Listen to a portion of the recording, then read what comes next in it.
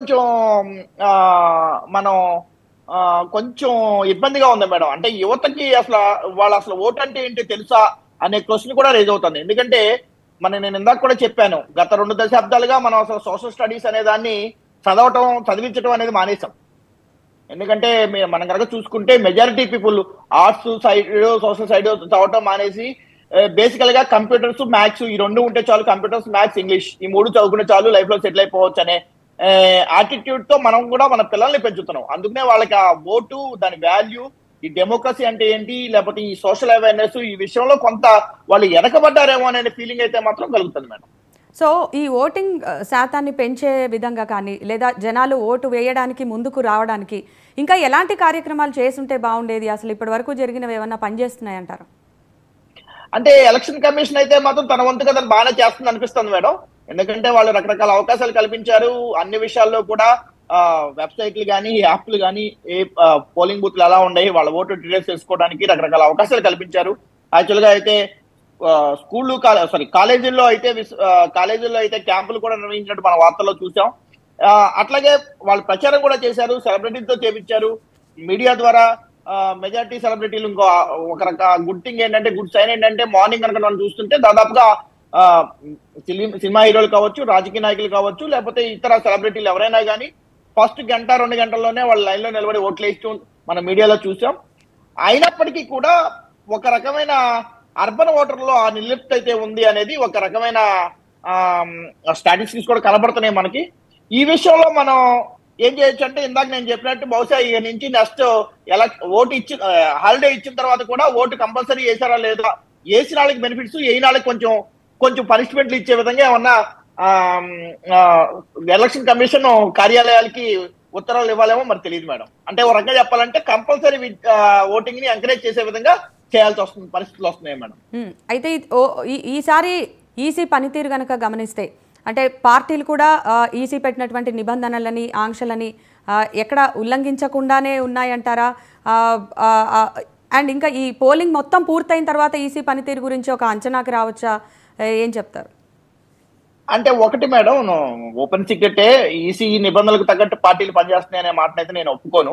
Ground level అలా ఉండదు. అది బహిరంగ కొన్ని మాట్లాడలేకపోవచ్చు కానీ అందరూ ఒక రకంగా చెప్పాలంటే ఇల్లు లేదు ఆళ్ళు లేదు. అందరూ అన్ని పార్టీలు దొరికిన వాళ్ళేమో దొంగల్లాగా దొరకని వాళ్ళేమో ఏదో మేమేదో ప్రజాస్వామ్యాన్ని కాపాడుతున్నలాగా మాట్లాడటం కూడా కరెక్ట్ కాదు. ఎందుకంటే అందరూ కూడా అన్ని పార్టీలు పోటీ చేసే వాళ్ళందరూ కూడా వాళ్ళ majority people ninety nine percent మనం చెప్పొచ్చు పోటీ చేసే క్యాండిడేట్లు ఈసీ నియమనిబంధనలు క్షేత్రస్థాయిలో హండ్రెడ్ పర్సెంట్ పాటిస్తారనే దాన్ని అయితే నేను అంగీకరించను. కాకపోతే కొంతవరకు బహిరంగ మన మీడియాలో చూసేవి వాటి వరకు అయితే మాత్రం సాఫీగానే జరుగుతున్నాయి మనం ఎలక్షన్స్. సో అక్కడక్కడ ఈవీఎంలు మొరాయించడం అనేది ఏంటి? ఇది ఒక సాంప్రదాయమా? ఆనవాయితీగా అనుకోవాలా? సో ఎందుకని ప్రతిసారి ఉండేటువంటి పరిస్థితి ఇది.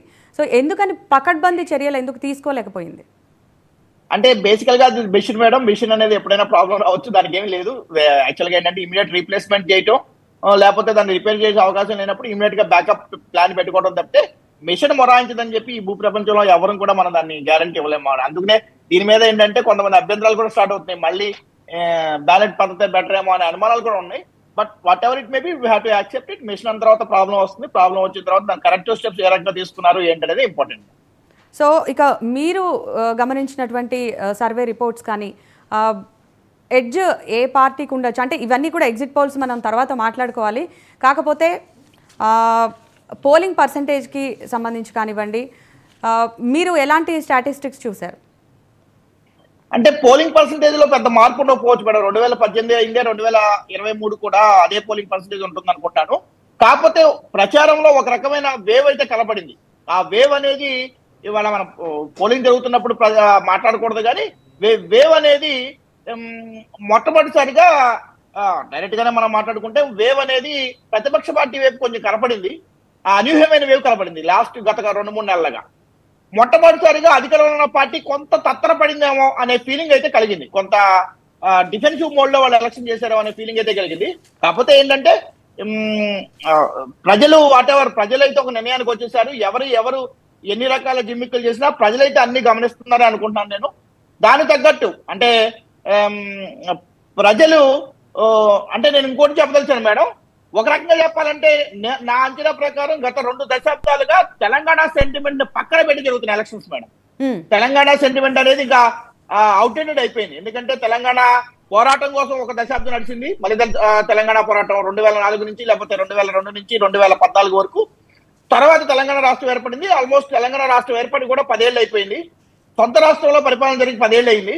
సో ఆ తెలంగాణ వాదం అనేది మెల్లిగా అవుట్డేటెడ్ అయిపోయి ఇక ప్రజల యొక్క జీవన ప్రమాణాలు అభివృద్ధి సంక్షేమం వీటిని మాత్రమే బే- బేరీ చేసుకుని ప్రజల తీర్పు చెప్పే అవకాశం అయితే మాత్రం నాకు తెలిసి గత రెండు దశాబ్దాలుగా మొట్టమొదటిసారిగా తెలంగాణ ప్రజానీకాన్ని తీసుకుంటుందేమో అని నేను ఆశిస్తున్నాను మేడం. అండ్ ఈ ప్రచార పర్వంలో మనం చూసాం మంత్రి కేటీఆర్ కూడా ఒప్పుకున్నారంటే కొన్ని చోట్ల కొన్ని శాఖల్లో పొరపాట్లు జరిగిన మాట వాస్తవమే వాటన్నిటినీ కూడా సరిదిద్దుకోవడానికి మాకు ఇంకో అవకాశం ఇవ్వండి అని చెప్పి. ఇది కూడా ఒక స్ట్రాటజికల్ అనుకోవాలా లేదంటే హానెస్టీ అనుకోవాలా?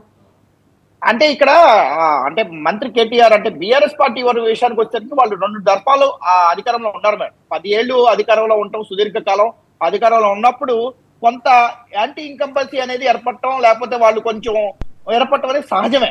అందుట్లో టిఆర్ఎస్ సైడ్కి సారీ బీఆర్ఎస్ సైడ్కి ఉన్న ఒక ప్రతికూలత ఏంటంటే నాకు తెలిసి గత మూడు ఎలక్షన్స్లో పెద్ద క్యాండిడేట్లు కూడా మార్చలేదు మేడం. అంటే ఇప్పుడు పోటీ చేస్తున్న క్యాండిడేట్లో majority people eighty to ninety percent people గత రెండు సందర్భాల్లో ఎమ్మెల్యేలుగా ఉన్నాళ్ళు మళ్ళీ వాళ్ళే అంటే ఏ వేరే పార్టీ నుంచి గెలిచిన ఎమ్మెల్యేలు కూడా ఈసారి ఈ పార్టీలోకి వచ్చాక ఈ పార్టీ టికెట్ పోటీ చేస్తారు. అంటే గత మూడు సందర్భాల్లో అదే క్యాండిడేట్లు అవటం కొంచెం ప్రతికూలత యాంటీ ఇన్కమ్ పెంచే విధంగా చూపించే విధంగా చూపిస్తుంది మేడం. అయితే దాన్ని దాటుకుని వాళ్ళు ప్రభుత్వాన్ని ఏర్పాటు చేయడానికి మ్యాజిక్ ఫిగర్ని చేరుకుంటారా లేకపోతే అక్కడ చేరుకోలేకపోతారా అనేది మనం ఇంకా రెండు రోజుల వరకు వెయిట్ చేయాలి మేడం. యా అండ్ ఇంకా ప్రచార శైలి కూడా మనం చూస్తే ఈసారి చాలా వినూత్నంగా జరిగింది అనుకోవచ్చా? బికాజ్ డిజిటల్ మీడియా ప్రభావం కావచ్చు లేదా నేతలు ఏది మాట్లాడాలన్నా సరే వాళ్ళకి ఉండేటువంటి ఆ స్ట్రాటజిస్ట్ల హైరింగ్ కావచ్చు ఇవన్నీ కూడా భారీ ఎత్తునగా ఎత్తున జరిగినట్టుగా అనుకోవచ్చా? ఖచ్చితంగా మేడం. రాను రాను సోషల్ మీడియా డిజిటల్ మీడియా ప్రభావం పెరిగిన తర్వాత దాని తగ్గట్టుగా ప్రచార శైలి మార్చుకోవాల్సిన అవసరం అయితే ప్రతి రాజకీయ పార్టీకి ఉంది. ఈ, దాదాపుగా అన్ని పార్టీలు కూడా వాళ్ళ స్ట్రాటజిస్టులు అంటే ఒక ప్రొఫెషనల్ స్ట్రాటజిస్ట్ ఫైల్ని హైర్ చేసుకుని వాళ్ళ వాళ్ళ అంచనల్లోనో లేకపోతే వాళ్ళు చెప్పినట్లు జరుగుతున్నాయి అని చెప్పి మనకు క్లియర్గా అర్థమవుతుంది. అంటే అన్ని పార్టీలు కూడా అన్ని ప్రధాన పార్టీలు పర్టికులర్గా ఈవెన్ దో ఇండిపెండెంట్లు కూడా వాళ్ళ ఒక టీం ఏర్పాటు చేసుకుని సోషల్ మీడియా డిజిటల్ మీడియాని రన్ చేయడం కోసం ఈ ప- ఈ నెల రోజులు వాళ్ళు ఒక హైర్ చేసుకోవాల్సిన తప్పనిసరి పరిస్థితులు అయితే వచ్చాయి. ఈ వినూత్నంగా జరిగింది.